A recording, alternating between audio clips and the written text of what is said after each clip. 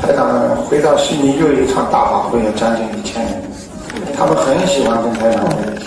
你讲吧，嗯哇，尊敬的卢台长嗯，好，啊，能够见到你是我我呃很多生修来的福气。谢谢。我今天问一个女士，呃，她是一九四二年属马的，啊，嗯，是女士。我想问问她的健康情况，嗯，有如如果说是跟那个前世的孽障什么带来的话，今生有什么办法能够使他健康一点？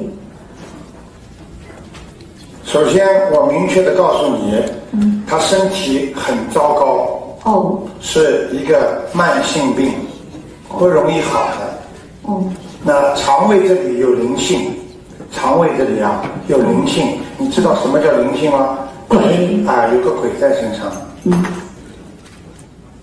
脊这个腰椎也不好，哦。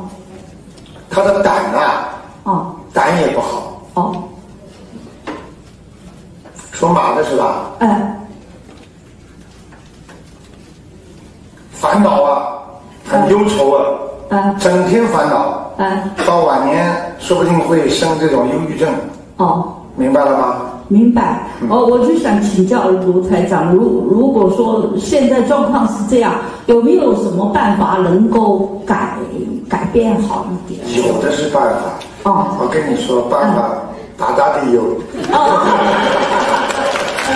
就是说，台长现在为什么大家都觉得这个法门好？就是说，马上让你解决问题的。啊我跟你说，啊慢慢的，你到门口知青处去问一问。啊我教你几个方法。啊先念点什么经呢？首先呢，要给他念礼佛大忏悔文，哦，礼佛大大忏忏悔文。还还要烧小房子。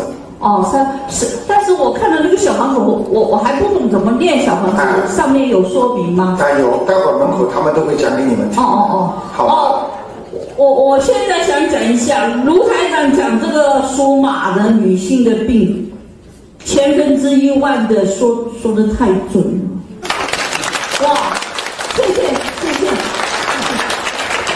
他表达的就是百分之一千准，一万准，一被他一讲变成千分之一准。那我走了，再见。呃，好，老人家你。